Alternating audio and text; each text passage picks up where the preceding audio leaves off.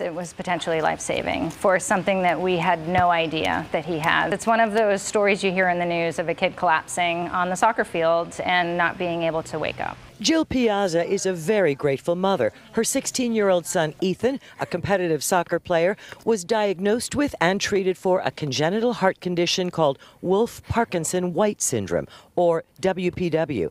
Though he had no symptoms, Ethan had an extra electrical pathway in his heart. It can lead to a very rapid heart rate, two to 300 beats per minute, and it can lead to more lethal arrhythmias, including sudden cardiac death in rare cases. At Daytona International Speedway over the summer, the Volusia County School District, working with Advent Health, offered free electrocardiogram screenings to local athletes.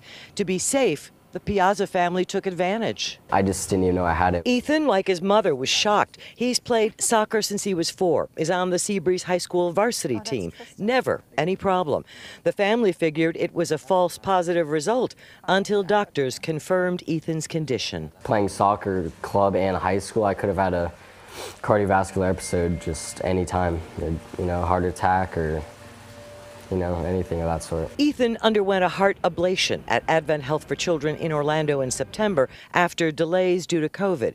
His mom says it was worth the wait. It completely kills the pathway, prevents it from transmitting electrical impulses, and it's essentially a cure. It's very relieving just knowing what could have happened and that we prevented it safely. Ethan's back on the field, scored his first goal of the varsity season this week. He is healthy, his mom happy. Don't hesitate. Get your kids screened because it could save their life. Absolutely. In Ormond Beach, Volusia County, Claire Metz, WESH 2 News.